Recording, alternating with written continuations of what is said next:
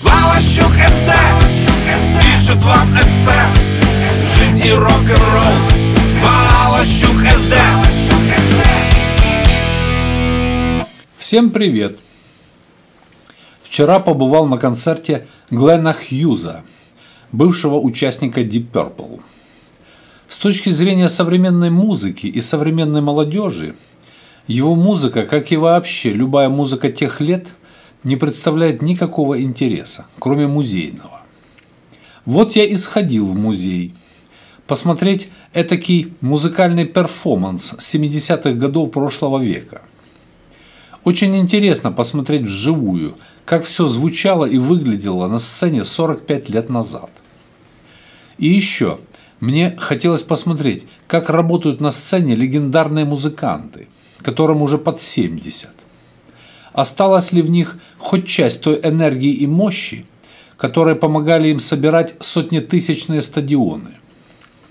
Скажу честно, я получил удовольствие от концерта, потому что услышал и увидел именно то, что и ожидал.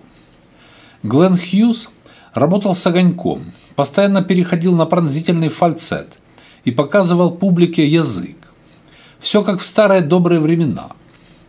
Клавишник также все время пытался играть коленом на своем хаммонде. Создавалось впечатление, что он хочет его оседлать. То есть чуваки воссоздавали на сцене и атмосферу, и звучание, и картинку из 70-х годов. Глен Хьюз исполнял свои и дипперпловские старые хиты. И, конечно же, все закончилось знаменитой «Smoke on the Water», припев которой стоя пел весь зал.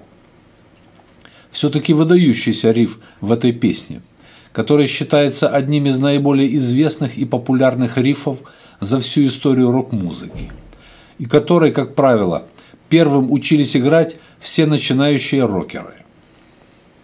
Хочу отметить профессиональное мастерство музыкантов, сопровождающих Глена Хьюза, гитариста Сорана Андерсона, клавишника Еспера Бо Хансена и барабанщика Фера Эскобедо, которые опять-таки в лучших традициях 70-х годов по очереди в режиме Диксиленда продемонстрировали публике свои умения.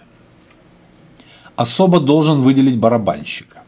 Настоящий мастер – запросто может играть даже в самых скоростных спид-метал группах.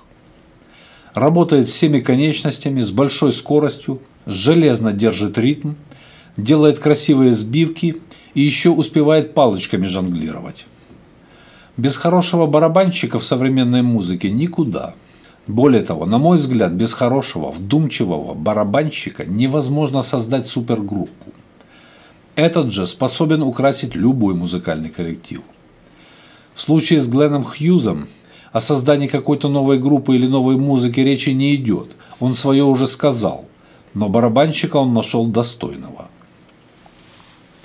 Критиковать музыку Гленна Хьюза не имеет никакого смысла. Это все-таки музейный экспонат. Нравится он нам или не нравится, его уже не изменить. Он такой, какой есть. Отпечаток истории. И именно в этом его красота – но вот звук в зале я раскритикую. Это не первый рок-концерт, на котором я побывал в Светлановском зале Международного дома музыки. На мой взгляд, сама акустика этого зала не рассчитана на проведение рок-концертов. Звук получается глухой. Симфонический же оркестр и орган звучат хорошо. Я также присутствовал не один раз на таких концертах. Но несмотря на глухой звук, я получил удовольствие от концерта и немного пересмотрел свои взгляды на патриархов нашей рок-музыки. Они, как и Глен Хьюз, свое сказали и сказали хорошо и красиво. Извините, если кого-то обидел неосторожным словом. Всем пока. Пишет вам эссе. Жизнь и рок-н-ролл. Валащук СД